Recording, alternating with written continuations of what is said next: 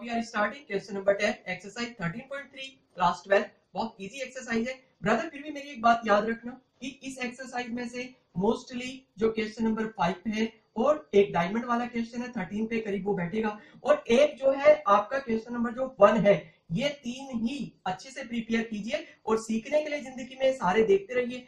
Suppose a girl throws a die एक लड़की है और उसने डाई को थ्रो करा अब उसने जब डाई फेंकी तो उसके पास दो केस इस तरह से बने हैं कि सी गेट्स फाइव और सिक्स एक केस तो यह है कि अगर उसका फाइव या सिक्स आए, और एक केस ये है आपके पास कि अगर उसका वन टू थ्री या फिर फोर आया तो दो प्रकार के केस वो सोच के चल रही है। यानी हमारे पास दो प्रकार के इवेंट हैं। पहला तो ये है कि अगर उसने डाई फेंकी तो फाइव और सिक्स आए। ब्रदर फाइव और सिक्स आए मतलब कितने आए? दो डिजिट आई हैं। और टोटल एक डाई में कितने डिजिट होती हैं? आप समझते हैं सिक्स होती है। तो प्रोबेबिलिटी इवन आपने बड़े आसानी से ढूंढ ली है और ये आपके पास है टू अपॉन सिक्स फाइव और सिक्स टू है। टोटल सिक्स होते हैं टू अपॉन सिक्स आपके पास वन बाई थ्री आ चुका है और प्रोबेबिलिटी ई टू आपके पास कितना है? One two three four four आपके पास टोटल है तो four by six two two जा टू थ्री है। आप ये सारा आसानी से समझ रहे हैं। अब आगे देखिए, आपके पास ऑप्शन है probability A upon E one अब आप कहेंगे कि सर आपने ए किससे लिखा है? मैं आपको दोबारा समझाता हूँ भाइयों। ए एक इवेंट है और वो इवेंट कैसा है? What is the probability she three तो एग्जैक्टली वन हेड ये ए होता है मोस्टली मैं आपको समझा देता हूँ। लास्ट लाइनों में लिखा मिलता है। तो she obtained exactly one head तो एग्जैक्टली तो एग्जैक्टली वन हेड आपके पास आया है। ठीक है? तो वन हेड आने की प्रॉपर्टी हमने एग्जैक्टली में ले रखा है। अब कहानी सुनते हैं इसकी आगे क्या कह रहा था? अगर she tosses a coin three times and notes the number अगर फाइव और सिक्स आएगा ना तो वो सिक्के को तीन बार उछालेगी। एक, दो और तीन। तीन बार इसने उछाला? अब तीन बार की कहानी जरा आप सुनिए, मेरे से अच्छे से सीख लीजिए। मान लीजिए पहली बार उछाला। हेड या टेल आया? बात समझ रहे? अगर हेड आया पहली बार में और इसमें फिर उछाला तो दूसरी बार में भी हेड या टेल आ सकता है। अगर मान लीजिए हेड नहीं आया था और टेल आया था तो उसने फिर उछाला तो हेड या टेल आ सकता है।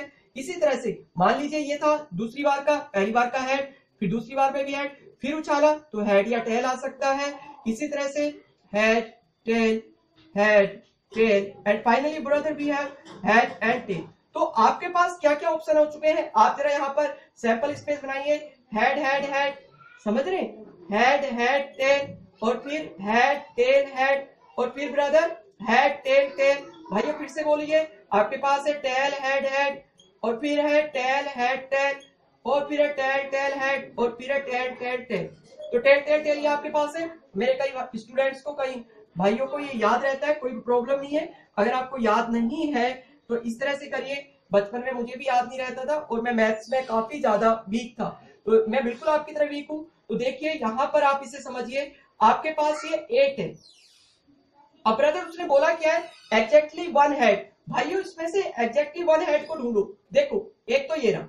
एक ही हेड है और एक हेड ये रहा, एक हेड ये रहा, एक हेड ये रहा। कितने पास है? यानी यहाँ पे तो दो आ गए। ये रहा। वन टू थ्री थ्री है? और टोटल कितने हैं ये? टोटल है आठ। और हेड एग्जैक्टली वन किसमें आ रहा है? तीन में आ रहा है। तो आपके पास इसके लिए थ्री अपॉन एट यानी आप अगर एक सिक्के को तीन बार उछालते हैं, और तीन बार उछालने के बाद उसमें से एग्जैक्टली हेड को ढूंढते हैं तो वो आपका प्रोबेबिलिटी में थ्री बाई एट रहेगा। बात समझे? अच्छा दूसरी बात सुनिए उसकी।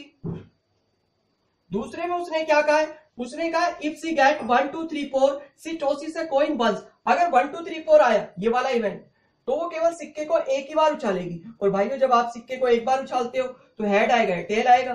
तो हेड की प्रोबेबिलिटी क्या हो गई? वन बाई टू अब आ जाइए इसके मैन पॉइंट में। इसने क्या यहाँ पर बोला है? इससे पहले मैं आपको बताना चाहूँगा बीच में रोक के कि हम एक जनवरी से इस तरह की वीडियो अपलोड करेंगे, जो मोस्टली आपके एग्ज़ाम से रिलेटेड होंगी कि किस चैप्टर में से टेन मोस्ट एनसीआरटी सम्स कौन से हैं टेन मोस्ट एक्स्ट्रा सम कौन से हैं तो आप प्लीज़ हमारे साथ एक जनवरी के बाद तो ज़रूर बने रहिए। तो what is the probability that she throws one two three four with the die तो वन टू थ्री फोर की डाई की प्रोबेबिलिटी यहाँ से पूछ रहा है, ये सेकंड इवेंट से। यही तो था। वन टू थ्री फोर तो हमें ये निकालना है प्रोबेबिलिटी एग्जैक्टली हेड की और वो भी वन टू थ्री फोर वालों से। तो कितना आ जाएगा? Two by three multiply one by two upon one by three multiply three by eight समझ रहे हो ना कितना सिंपल इसकी इससे मल्टीप्लाई प्लस इसकी इससे multiply two by three multiply one by two now I have this one one by three and definitely one by eight plus two one by three okay brother अगर आप इसे solve करेंगे eight और three का आप LCM ले लीजिए तो आपके पास कितना आ गया? ट्वेंटी फोर आ गया। आप यहाँ पे ट्वेंटी फोर लिख लीजिए, ठीक है? तो ट्वेंटी फोर आपने यहाँ पर लिख लिया है। ट्वेंटी फोर आ गया। और ट्वेंटी फोर को आपने डिवाइड करा एट से तो यहाँ पर आपके पास कितना आ गया? थ्री और थ्री से डिवाइड करा तो एट ठीक है? तो आपके पास कितना ऑप्शन आया brother one upon three multiply eleven upon twenty four है ना? डायरेक्ट तो कितना हो जाएगा? Twenty four upon eleven three eight जा। 8 upon 11 is the required property. I hope you enjoyed this video very well. अगर अच्छा लगा है, अच्छे से समझ में आए प्लीज़ लाइक कीजिए, अच्छे से थोड़े बहुत कमेंट कीजिए और शेयर कीजिए मेरी इस वीडियो को, ज़रूर शेयर कीजिए अपने दोस्तों के साथ ताकि उन्हें भी समझने में आसानी रहे और सब्सक्राइब करिए मेरे यूट्यूब चैनल को थैंक यू थैंक यू